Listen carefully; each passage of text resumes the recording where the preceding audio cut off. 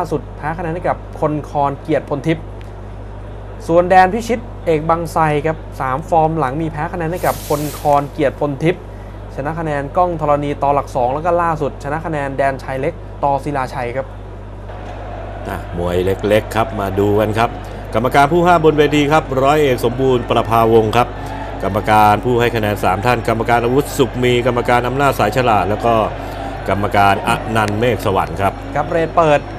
ให้แดนพิชิตในฝั่งมุมน้ำเงินครับได้เปรียบ 5 ต่อ4ครับหมดผม2ยกนี่ราคาก็ยันอยู่ที่ดาบธงมุมแดงครับอืมโอ้ใหญ่เหลือเกินครับ น้ำเงินสูงยาวกว่าเห็นเลยครับคู่นี้ก็เป็นมวยคนละทางคนละทรงครับ แดนพิชิตก็มวยบู๊เดินชวนทะเลาะ ส่วนดาบธงตัวเล็ก จังหวะฝีมือครับ ใหญ่ต้องเดินบทเดินเบียด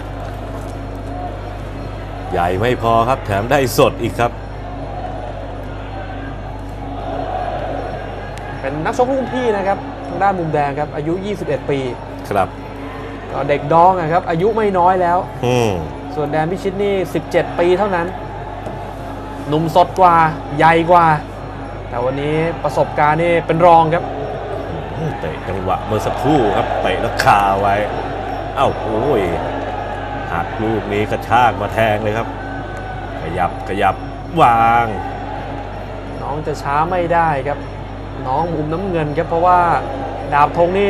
โอ้โหเก๋าเกม คือชกมานานมากครับอ่าเก๋าครับ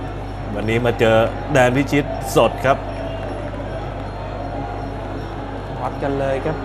มวยประสบการณ์สูงกับมวยร่างกายดี ตัวใหญ่อีกต่างหาก โอ้โหมีศอกดักด้วยเข่าเกมมันบีบให้แดนมิชิตที่ต้องเดินเร็วครับ ใช่ครับมาเดินช้ายึกยักอย่างนี้ จังหวะของดาบธงนี่จะดักรอไว้อยู่แล้วครับ แกหาโอกาสอยู่แล้วแล้วอีกอย่างนี่ต้องบอกว่าความคล่องแคล่วนี่ดาบธงนี่เร็วกว่าครับอุ้ยพลาดลูกนี้โดนเข้าไป ช่วงชกสั้นกว่าเตะหลุดเตะหลวมนี่โดนลงโทษทันทีอ่า ถอยหลังไม่มีครับ หมดยกที่ 3 ครับ สถานการณ์หมด 3 ยกนี่โอ้โห ดาบธงในฝั่งมุมแดงครับขยับได้เปรียบถึง 7 ช่วงตัว ครับผมก็ดูว่านะอาวุธนี่หลากหลายกว่าครับ เริ่มมีเริ่มแตกแล้วครับตอนนี้ ทางด้านของดาบธงมาดูกันครับยกทีสี่4 ครับ ต้องเร่งแล้วครับแดนพิชิต ช้าไม่ได้สายความใหญ่ของตัวเองอะครับ เดินบทเดินเบียดให้นักมวยรุ่นพี่นี่ยุบให้ได้ถ้าไม่ยุบตัวเองก็แย่ครับ ครับผม โอ้เข้าในดู ดูจังหวะ แก้ของดาบธงครับพยายามจะยกเข่ามาขวางไม่ให้ตี นี่แหละครับประสบการณ์ชั่วโมงบิน ช่วยได้เยอะเลยครับ อืมอ่าพยายามอีกครั้งหนึ่งครับแดนพิชิตแม่ ไล่แขนป้องกันไว้ได้ดีครับ ดาบธงแล้วฟังจากเสียงเชียร์เนี่ยเงียบๆลงไปครับอ่าเพราะว่าแดนพิชิตจะทำอะไรไม่เป็นชิ้นเป็นอันแล้วจังไม่หวะต่อเนื่องครับ ใช่ จังหวะก็ช้ากว่าครับแล้วพอทำได้ดีดาบธงแกก็อือหือ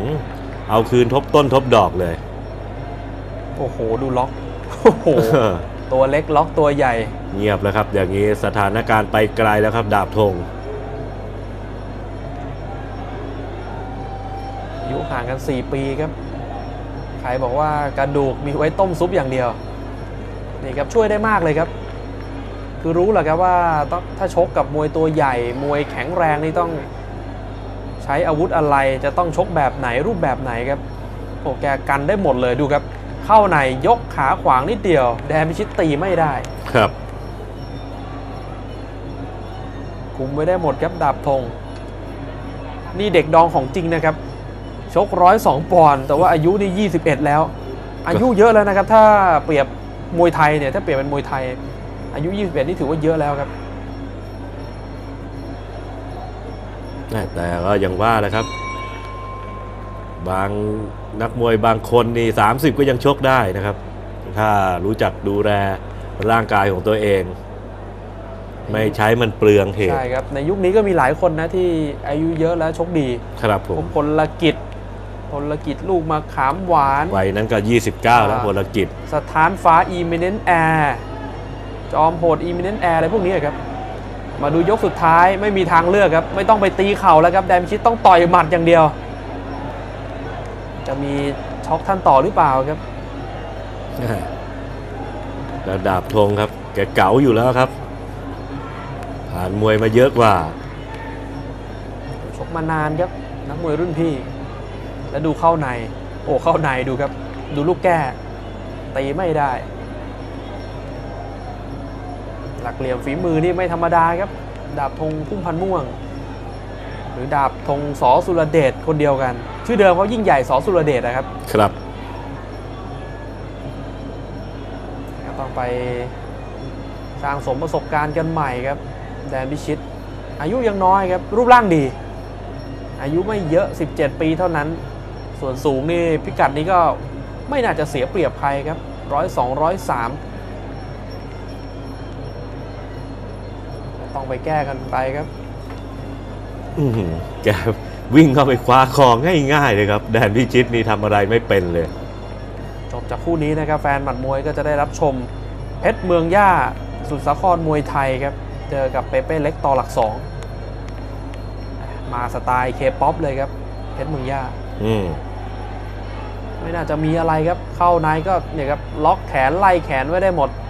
พยายามจะฟันศอกครับแต่ว่ามันไม่มีมันไม่มีวงสวิงเท่าไหร่ โดนก็ไม่ค่อยเจ็บครับ ปีกองเชิดแล้วครับ ปลายยกสุดท้าย อืมดาบธงนี่ต้องบอกว่ายืนระยะได้ดีจริง ๆ ครับช่วงนี้ นี่นะครับเข้า ไปรวบเอวง่ายอืมๆแก้ไม่ได้ด้วย ครับฝีไม้ลายมือก็ไม่ได้คิดเหล่อะไรครับแดนมิชิตแต่ว่าลูกเก๋านี่ยังไม่มีครับ คือเจอลูกแก้บางจังหวะไปแล้วก็ไปไม่เป็น หมดยกสุดท้ายนะครับ ไม่มีปัญหาครับ กรรมการร้อยเอกสมบูรณ์ประภาวงศ์ครับ รวบรวมคะแนนชูมือไปที่ดาบธงพุ่มพันธ์ม่วงครับ เป็นฝ่ายชนะคะแนน แดนพิชิต เอกบางไทรไป ก็ขาดร้อยแล้วครับ